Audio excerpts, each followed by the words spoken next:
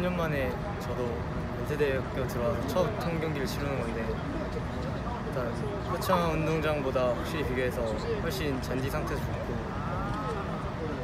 더 편안하게 이제 가깝게 왔다 갔다 할 필요 없이 힘도 좀 아끼면서 할 수 있어서 더 좋았고 또 경기도 승리로 마감할 수 있어서 좋았던 것 같습니다. 여기 저희 학교 운동장에서 너무 뛰고 싶었는데 잔디 잔디 갈아서 뛸 수 있어서 일단 좋았고요. 학교 학생분들도 축구 좋아하시면 와서 구경하시고 응원하실 수 있을 것 같아서 되게 좋은 것 같아요. 오셔가지고 같이 응원하면서 즐기면서 하면 저희도 그만큼 힘도 없고 그에 맞는 경기력을 보답할 수 있으니까 많이 놀러와서 즐기고 보고 가셨으면 좋겠습니다.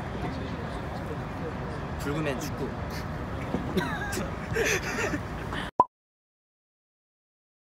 아, 승리에 너무 기쁘고요. 예, 운동장 좋습니다. 꼭 경기 구경 와주세요. 다음 경기도 승리로 이끌겠습니다. 최근 2, 3년간은 그 운동장이 되게 안 좋았어요. 애들도 뭐 스케이트장에서 공 차는 것 같아갖고.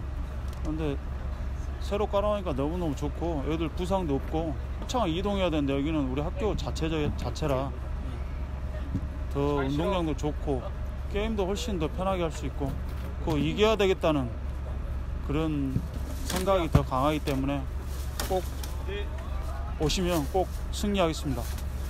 연세대학교 화이팅! 축구 화이팅! 연세대 화이팅! 축구 화이팅! 시즌바 화이팅! 감사합니다.